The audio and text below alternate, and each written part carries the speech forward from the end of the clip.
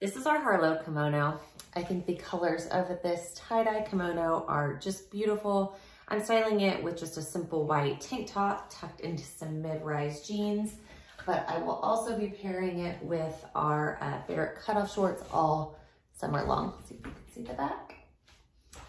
Pretty. Um, this one I think will just be so easy to throw on. You can even pair it over a swimsuit as a cover up if you'd like.